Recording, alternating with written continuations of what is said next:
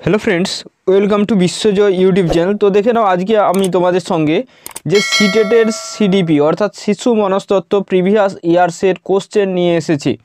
তো এই যে তোমাদের সিটেটের যে প্রশ্ন উত্তর, এইগুলো যদি ফলো করো, তাহলে কিন্তু তোমাদের টেট সকলের স্কোর হান্ড্রেড টোয়েন্টি প্লাস হয়ে যাবে। তো আমি তোমাদের যে ক্লাসগুলো দিচ্ছি, সেই ক্লাসগুলো অবশ্যই ফলো করো। এই ক্লাসগুলো থেকে কিন্তু তোমরা টেট পরীক্ষায় হুবহু কমন পাবে।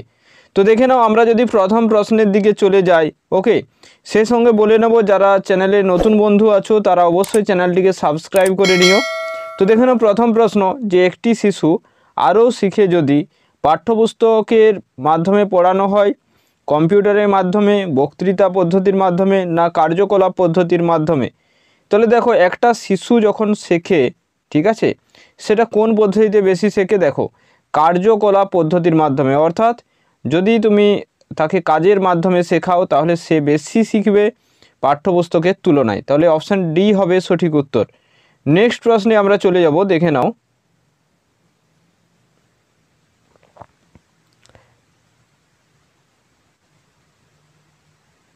চলো, নেক্সট প্রশ্ন। যে শ্রেণীকক্ষে শিক্ষক প্রচেষ্টা করেন কি? শিক্ষার্থীদের অভিজ্ঞতা প্রদান করা, সহায়ক শিক্ষার পরিবেশ প্রদান করা না প্রতিফলন করার সুযোগ প্রদান করা না উপরের সবগুলোই। তাহলে একজন শিক্ষক শ্রেণীকক্ষে কি করে থাকেন? শ্রেণীকক্ষে একজন শিক্ষক কিন্তু শিক্ষার্থীদের অভিজ্ঞতা যেমন প্রদান করে থাকেন, সহায়ক শিক্ষার পরিবেশ প্রদান করেন, প্রতিফলন করার সুযোগ প্রদান করেন, তো উপরের সবগুলোই সঠিক হবে। ওকে, অপশান ডি হবে সঠিক উত্তর। নেক্সট প্রশ্ন চলে যাব, দেখে নাও নেক্সট প্রশ্ন আছে যে শিক্ষার দুটি প্রধান উদ্দেশ্য রয়েছে। সেই দুটি প্রধান উদ্দেশ্য কি কি? যে শিশুদের মধ্যে বিষয় জ্ঞান সঞ্চারিত করা, শিশুদের মানসিক বিকাশ ঘটানো, বিষয় জ্ঞান প্রদান না পরীক্ষার জন্য প্রস্তুত করা। তাহলে এখানে দেখে নাও, বিষয় জ্ঞান প্রদান করা এবং মুখস্থ করতে সাহায্য করা, বিষয় জ্ঞান প্রদান এবং বৃত্তিমূলক যে দক্ষতা বিকাশ। তাহলে এখানে এই চারটে অপশানের মধ্যে আমরা যদি দেখি, এখানে আমাদের যে অ্যান্সারটি হয়ে যাবে, সেটা কিন্তু শিশুদের যে বিষয় জ্ঞান সঞ্চারিত করা ও মানসিক বিকাশ ঘটানো অপশান এ হবে সঠিক উত্তর। নেক্সট দেখে নাও যে বেশিরভাগ শিশু তাদের মাতৃভাষা শেখে কোন পর্যায়ে? এক বছর বয়সে, চার বছর বয়সে, ছয় বছর বয়সে না দুই বছর বয়সে? তাহলে বেশিরভাগ শিশু তাদের যে মাতৃভাষা সেটা শেখে কিন্তু চার বছর বয়সে। ওকে অপশান বি হচ্ছে সঠিক উত্তর। নেক্সট প্রশ্নে চলে যাব যে ছয় থেকে এগারো বছর বয়সী শিশুদের ছয় থেকে এগারো বছর বয়সী শিশুদের প্রয়োজন কি? শ্রেণীকক্ষে গণতান্ত্রিক পরিবেশ, শেখার স্বায়ত্তশাসন, কার্যকলাপ ভিত্তিক ইন্টারেক্টিভ লার্নিং না উপরের সবগুলোই? তাহলে ছয় থেকে এগারো বছরের এই যে এই পর্যায়ে শিশুরা কী শেখে? শেখার যে স্বায়ত্তশাসন। অপশন বি হবে সঠিক উত্তর, ওকে? অপশন বি এখানে তোমাদের হয়ে যাবে সঠিক উত্তর। আমরা চলে যাব পরবর্তী প্রশ্নে দেখে নাও। যে একটি শিশু বয়সে ঈর্ষা দেখায়, ছ মাসে, বারো মাসে, আঠারো মাসে না চব্বিশ মাসে?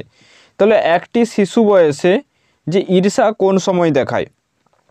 এটা কিন্তু আঠারো মাস বয়স থেকে, অর্থাৎ দেড় বছর বয়স থেকে একটা শিশুর মধ্যে যে ঈর্ষা ভাবটা, এটা কিন্তু জেগে ওঠে। অপশান সি হচ্ছে সঠিক উত্তর। নেক্সট দেখে নেওয়া আছে যে শিক্ষার্থীরা বিভিন্ন উপায়ে শেখে। শিক্ষার্থীরা বিভিন্ন উপায়ে শিখে, শিক্ষকের বক্তৃতা থেকে পরীক্ষা, নিরীক্ষা, আলোচনা, প্রশ্ন জিজ্ঞাসা, কার্যকলাপ, প্রতিফলন, না শিক্ষকের নির্দেশনা এবং নিয়ন্ত্রিত পাঠ্যপুস্তক ভিত্তিক শিক্ষাদান, না উপরে কোনোটিই নয়। দেখো এই যে উপরে কোনোটি নয়, এটা হচ্ছে নেগেটিভ কিওয়ার্ড এটা যখনই তোমরা অপশানে পাবে, জানবে সেটা কখনোই উত্তর হবে না। তাহলে এখানে আমাদের কোনটি অ্যান্সার হবে? তো সাতের অ্যান্সার হয়ে যাবে কিন্তু এখানে তোমাদের অপশান খ, পরীক্ষা, আলোচনা, প্রশ্ন জিজ্ঞাসা, কার্যকলাপ, এগুলো প্রত্যেকটাই হবে সঠিক উত্তর। চলো, পরবর্তী প্রশ্নে যে ছয় থেকে এগারো বছর বয়সী শিশুদের নিম্নলিখিত বৈশিষ্ট্য রয়েছে, যে শিশুরা স্বাভাবিক এবং সক্রিয় শিক্ষার্থী, শেখার জন্য শিক্ষকদের উপর নির্ভর করে, না শিশুরা শিক্ষকদের কাছ থেকে জ্ঞান লাভ করে, না শিশুরা শেখার প্রতি আগ্রহী নয়। তাহলে দেখে না ছয় থেকে এগারো বছর বয়সী শিশুদের নিম্নলিখিত কোন বৈশিষ্ট্যটি আছে এখানে? তো দেখো এখানে ঠিক আছে, যে শিশুরা স্বাভাবিক এবং সক্রিয় শিক্ষার্থী হয়ে থাকে। অপশান এ হচ্ছে সঠিক উত্তর। পরবর্তী প্রশ্ন যে সৃজনশীল শিশু সম্পর্কে কোন উক্তিটি সত্য নয় বলা হয়েছে? যে সৃজনশীল শিশু কৌতূহলী হয়, দুঃসাহসিক হয়, বহির্মুখী হয় না উচ্চাকাঙ্ক্ষী হয়? তাহলে একজন সৃজন সৃজনশীল শিশু যারা ক্রিয়েটিভ চাইল্ড হয়ে থাকে, তারা কেমন হয়ে থাকে কোনটা কিন্তু ঠিক নয় বলা হয়েছে। কোনটা ঠিক নয় বলা হয়েছে? তাহলে দেখো, যে দুঃসাহসিক হতে হবে তার কোনো মানে নেই ওকে তো এখানে খটা হচ্ছে ভুল আছে, বাকি সব ঠিক আছে। নেক্সট প্রশ্ন দেখে নাও, যে ড্যাশের মাধ্যমে নতুন জ্ঞান অর্জিত হয়, জ্ঞানের সঞ্চালন, মুখস্থ করা, অভিজ্ঞতা এবং নতুন অর্থ অনুসন্ধান, না উপরে কোনোটি নয়। বললাম এটা নেগেটিভ কিওয়ার্ড এটা হবে না কখনোই। তাহলে বাকি তিনটে যদি অপশন দেখি, যে জ্ঞানের ড্যাশ যে কিসের মাধ্যমে নতুন জ্ঞান অর্জিত হয়, তাহলে এটা অভিজ্ঞতা এবং নতুন অর্থ অনুসন্ধানের দ্বারা অপশন গ বা সি হবে তোমাদের সঠিক উত্তর। নেক্সট প্রশ্ন দেখে নাও, শিক্ষাদান একটি কি? শিক্ষক দ্বারা শিক্ষার্থীদের কাছে জ্ঞান প্রেরণ করা, শেখার নির্দেশনা, নির্দেশ দেওয়া না শেখার শিক্ষার সুবিধা প্রদান। তাহলে দেখে নাও এই যে অপশানগুলো আছে, এখানে কোনটি হবে? তো এখানে তোমাদের যে অ্যান্সারটি হয়ে যাবে যে শেখার শিক্ষার সুবিধা প্রদান অর্থাৎ শিখন। শিখনটার উপর গুরুত্ব দেওয়া। তো অপশন ঘ হচ্ছে সঠিক উত্তর। নেক্সট দেখে নাও, একটি শিশুর সামাজিক বিকাশ আসলে শুরু হয় প্রাথমিক পর্যায়ে, শৈশবে, শৈশবকালে না পরবর্তীতে। দেখো দুটো অপশানে একই আছে যদিও। তাহলে দেখে নাও, শিশুর যে সামাজিক সামাজিক যে বিকাশ, সেটা শুরু হয় কখন? মানে শৈশব অবস্থায় ওকে দুটো অপশানে একই আছে, দুটোই ঠিক।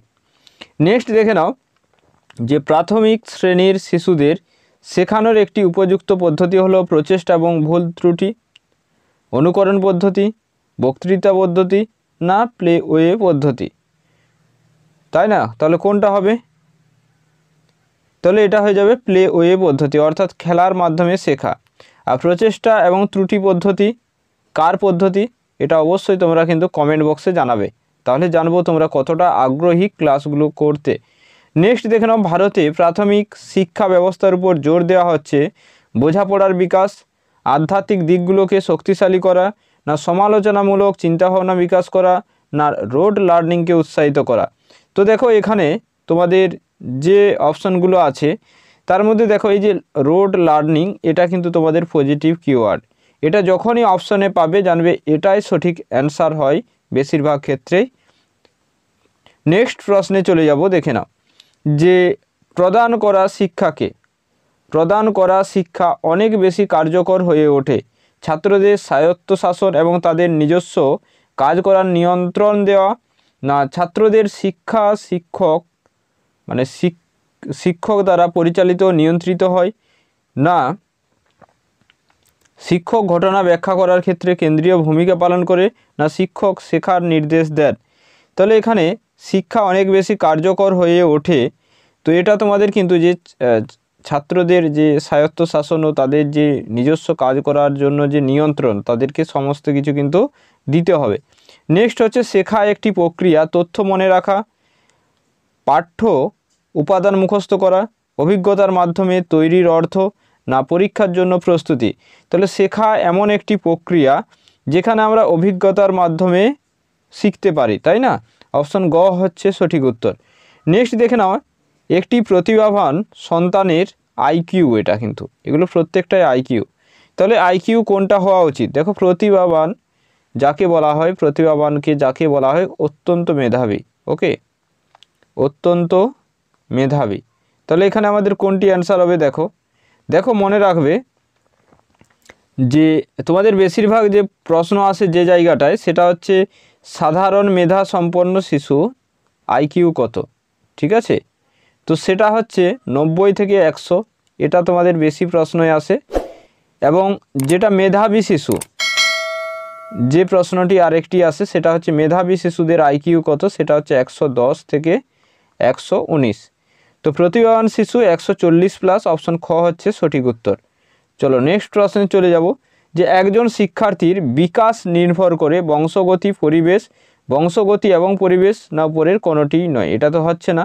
তাহলে একজন শিক্ষার্থীর যে বিকাশ, সেই বিকাশটা নির্ভর করবে কিসের ওপর তো একজন, তো বংশগতি এবং পরিবেশ উভয়ের উপর অপশন গ হবে সঠিক উত্তর। ওকে? তো তোমরা ডেইলি কিন্তু ক্লাসগুলো অবশ্যই ফলো করো। বিশ্বজয় ইউটিউব চ্যানেলে ডেলি ক্লাসগুলো অবশ্যই ফলো করো।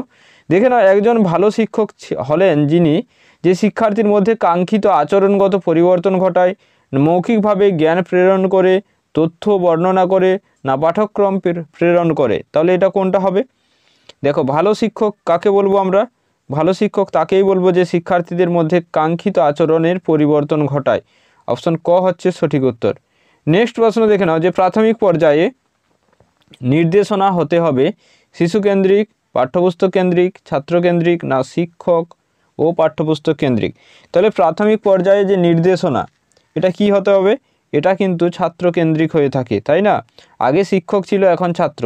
তাহলে আমি তোমাদের থেকে সিডিপির কুড়িটি প্রশ্ন আলোচনা করলাম যে সিটেটের প্রিভিয়াস ইয়ার্স বা অন্যান্য রাজ্যে এই প্রশ্নগুলো এসেছিল।